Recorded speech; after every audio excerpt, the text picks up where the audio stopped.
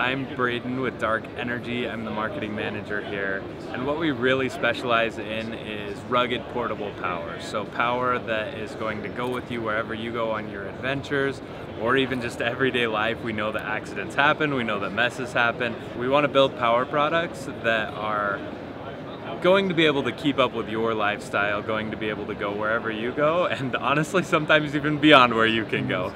This is our Poseidon Pro unit. It's probably our best seller. It's been around for about eight years, and people love it because it holds a charge forever. It's really good in the cold. Um, for example, this battery in particular, we have one in our office that still has a charge after eight years. So you can set it in a car, you can set it in a bag, and it'll have a charge when you need it. It works down to negative 20 without any issues.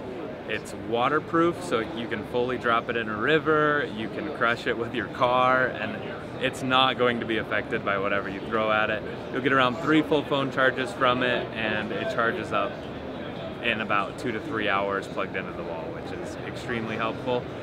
If you want to, you can also pair it with a solar panel. These are our Spectre solar panels. They're flexible, under a pound in weight and they'll charge this in about four hours of good sunlight.